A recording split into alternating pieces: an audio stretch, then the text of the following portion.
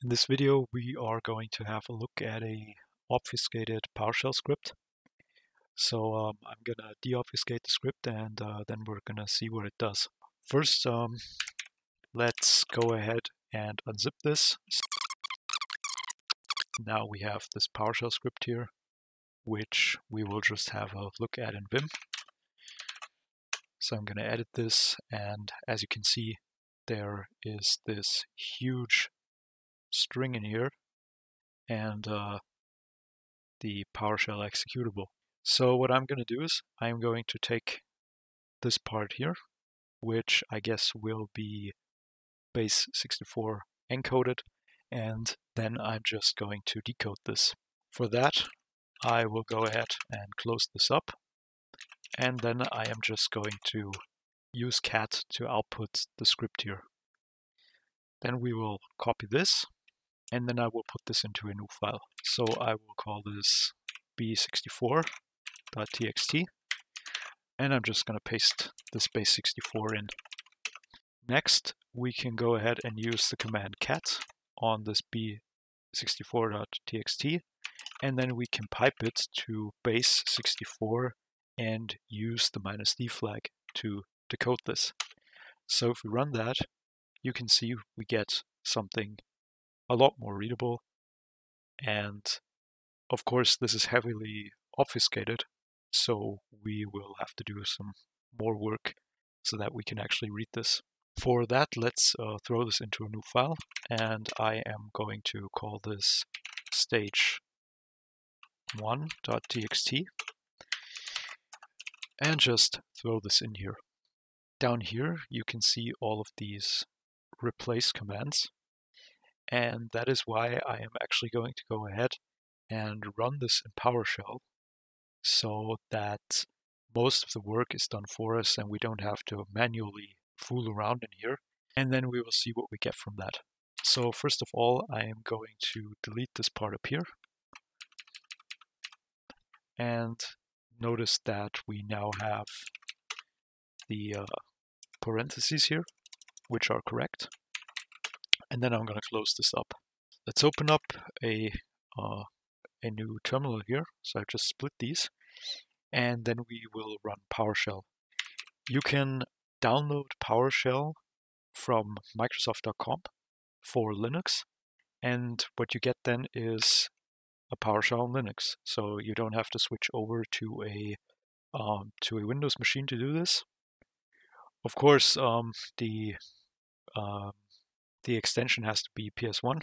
So I just moved the stage1 txt to stage1.ps1 and now we can run this and as you can see we get an output. We can take this and again edit it.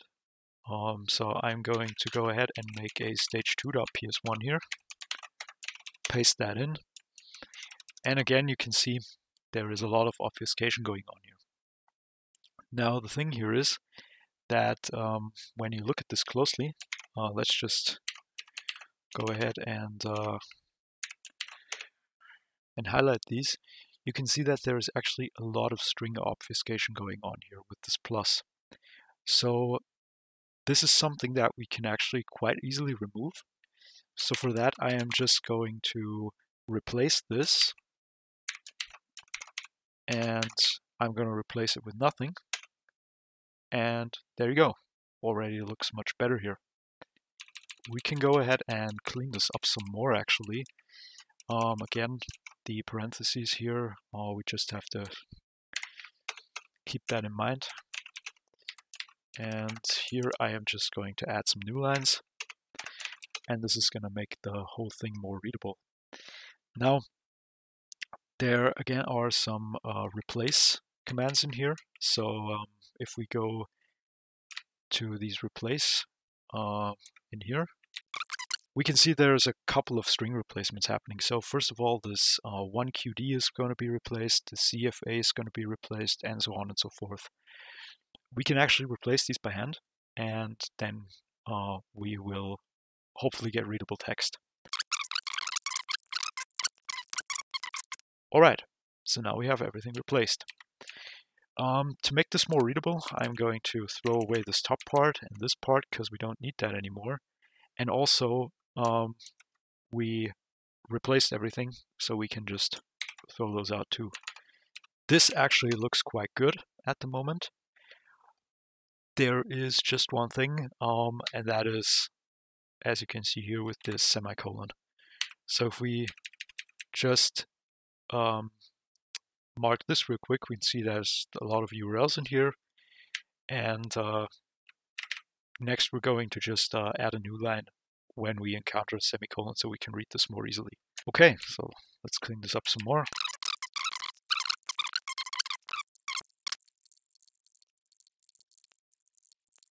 All right, so this is it. Um, we have a list of URLs here. Um, there's one in here that just has HTTP. The others are all HTTPS. And then we have this line here, which is going to do a web request to these URLs and try to download the software update exe. Now the if statement is going to check uh, the content length. If this is not equal to minus one, so if we got something back, we are going to download this file. I guess it's going to be uh, saved as update exe on disk. And then we have this uh, start process, which is going to start up this uh, update exe. So this uh, PowerShell script is pretty much going to reach out to these URLs, try to get software update exe, and run it on the target system or on the victim system. Then of course we have this HTTP close at the end. So I've uh, connected up to Tor and uh, yeah, let's try some of these out. So I'm gonna take this uh, the second one first. So let's throw that in here. And uh, okay, we have a security risk. That's nice. Oh, we're just gonna go advanced and accept the risk. Okay, let's forget about that one. I'm gonna copy this one. Just go out to, to this website. Okay, we have a suspected phishing site ahead. And uh, just gonna go in here. All right, it's forbidden. And then we have this uh, HTTP b29.bet. Let's go here and explore that. And we actually get something. Cool. Um, so let's see if we get the software update.exe and if we can download that doesn't look like it so file wasn't found. All right i'm not going to try the other ones. Uh, instead let's jump over to the windows box and actually try to uh, try to see if uh, if i was correct here. So for that on this machine i am going to go ahead and do a sudo inetsim